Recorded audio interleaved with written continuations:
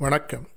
இவ்வலைவொலி மூலம் எம்என் ஸ்ரீனிவாஸ் அவர்களின் முக்கிய சமூகவியல் படைப்புகளில் ஒன்றான சான்ஸ்கிரிட்டைசேஷன் அதாவது சமஸ்கிருதமயமாதல் என்ற கருத்தியலை பற்றி பார்ப்போம். எம்என் ஸ்ரீனிவாசின் முழு பெயர் மைசூர் நரசிம்மாச்சார் ஸ்ரீனிவாஸ் என்பதாகும். எம்என் ஸ்ரீனிவாஸ் அவர்கள் ஆயிரத்தி தொள்ளாயிரத்தி பதினாறாம் ஆண்டு மைசூரில் பிறந்து ஆயிரத்தி தொள்ளாயிரத்தி தொண்ணூற்றி ஒன்பதாம் ஆண்டு பெங்களூரில் காலமானார். இவர் பல்வேறு சமூக சிந்தனைகளை வழங்கிய சிறந்த இந்திய சமூகவியல் சிந்தனையாளர்களில் இவரும் ஒருவர். எம்என் ஸ்ரீனிவாசின் ஆய்வு படைப்புகளில் பெரும்பான்மை ஆய்வுகளும் சாதியை முதன்மைப்படுத்திய ஆய்வுகளாக இருந்தது. சமஸ்கிருதமயமாதலும் சாதியை சுற்றியே அமைந்த கருத்தாக்கங்களில் ஒன்றாகும். இனி சமஸ்கிருதமயமாதலின் பொருள் பற்றி பார்ப்போம்.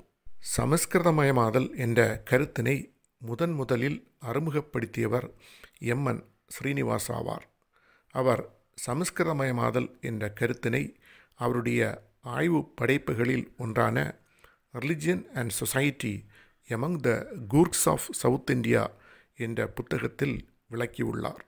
எம்என் ஸ்ரீனிவாஸ் அவர்கள் மைசூரில் உள்ள கூர்க் என்ற சாதியினரிடம் ஒரு ஆய்வினை மேற்கொண்டபோது சமூக பெயர்ச்சி சார்ந்த உண்மைகளை கண்டறிந்தார்.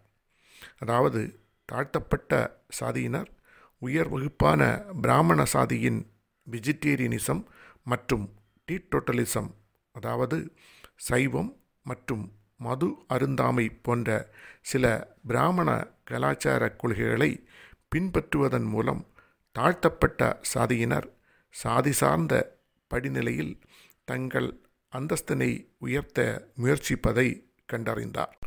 அது மட்டுமன்றி பிராமணர்களால் தூய்மையற்றதாக கருதப்படும் சில கலாச்சார கொள்கைகளை கீழ்சாதியினர் தங்கள் ஸ்டேட்டஸை உயர்த்துவதற்காக விட்டுவிட்டார்கள் என்பதையும் கண்டறிந்தார்.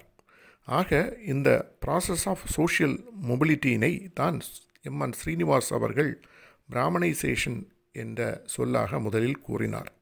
ஆனால் ஸ்ரீனிவாஸ் அவர்கள் பிற்காலத்தில் வட இந்தியாவின் பல பகுதிகளில் சாதிகள் மற்றும் பழங்குடியினர் பற்றிய ஆய்வுகளை மேற்கொண்டபோது தாழ்த்தப்பட்ட சாதியினர் மற்றும் பழங்குடியினர் உயர் சாதியினரின் கலாச்சார சித்தாந்தங்களை பின்பற்றுகிறார்கள் என்பதை அறிந்த ஸ்ரீனிவாஸ் அவர்கள் பிராமணைசேஷன் என்ற சொல்லுக்கு பதிலாக பரந்த பொருளில் சமஸ்கிருதமயமாதல் என்ற சொல்லாக மாற்றினார்.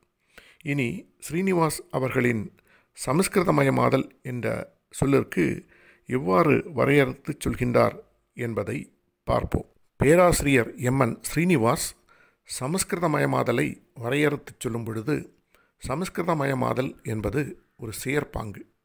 இந்த செயற்பாங்கின் மூலம் கீழ்சாதியினர் அல்லது பழங்குடியினர் அல்லது வேறு சாதி சார்ந்த குழுக்கள் மேல் சாதியினரின் பழக்க வழக்கங்கள் சடங்குகள் சித்தாந்தங்கள் மற்றும் வாழ்க்கை வழிமுறைகளை கடைபிடித்து உயர்ந்த ஜாதியின் திசையில் மாற்றும் செயல்முறையினைத்தான் சமஸ்கிருதமயமாதல் என்று எம்என் ஸ்ரீனிவாஸ் வரையறுத்து சொல்கின்றார்.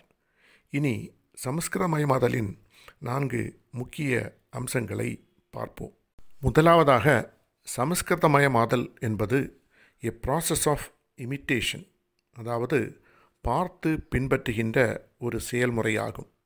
அதாவது தாழ்த்தப்பட்ட சாதியினர் தங்கள் சமூக அந்தஸ்தை உயர்த்தும் முயற்சியில் உயர் சாதியின் வாழ்க்கை முறைகளை பார்த்து பின்பற்ற முயற்சிக்கும் ஒரு செயல்முறையாகும். இரண்டாவதாக சமஸ்கிருதமயமாதல் என்பது a process of cultural change அதாவது சமஸ்கிருதமயமாதல் என்பது கலாச்சார மாற்றத்தின் ஒரு செயல்முறையாகும். இந்த செயல்முறையின் மூலம் தாழ்த்தப்பட்ட சாதியினர் உயர் சாதியினரின் கலாச்சார முறைகளை பின்பற்றும் செயல்முறையாகும். அது மட்டுமன்றி சில சமூகங்களில் தாழ்த்தப்பட்ட மக்கள் பிராமணர்களின் பழக்க வழக்கங்களை மட்டுமல்லாமல் சில உள்ளூர் ஆதிக்க சாதிகளான சத்திரியர்கள் வைசியர்கள் மற்றும் சமணர்களின் பழக்க வழக்கங்களையும் பின்பற்றி தங்கள் நிலையினை உயர்த்தி கொள்கின்றார்கள். சமஸ்கிருதமயமாதலின் மூன்றாவது அம்சமானது sanskritization denotes the process of upward mobility அதாவது சமஸ்கிருதமயமாதல் என்பது சாதி படிநிலையில் மேல்நோக்கி இயங்குகின்ற செயல்முறையை குறிக்கின்றது.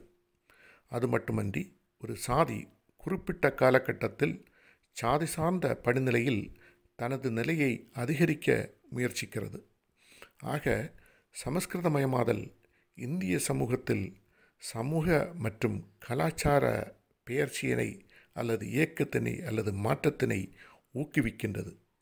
சமஸ்கிருதமயமாதலின் நான்காவது அம்சம் என்னவென்றால் sanskritization process also followed by the tribal அதாவது சமஸ்கிருதமயமாதல் செயல்முறை என்பது இந்து சாதி மக்களிடம் மட்டும் காணப்படுகின்ற ஒரு செயற்பாங்கு மட்டுமல்லாது பழங்குடி மக்களின் மத்தியிலும் சமஸ்கிருதமயமாதல் பின்பற்றப்படுகின்றது. ஆக சமஸ்கிருதமயமாதல் என்பது இந்திய மக்களின் சாதி கட்டமைப்பிற்கு உள்ளேயும் வெளியேயும் சமூக மற்றும் பண்பாட்டு மாற்றத்தினை அடைவதற்கான முயற்சியாக பிரதிபலிக்கிறது.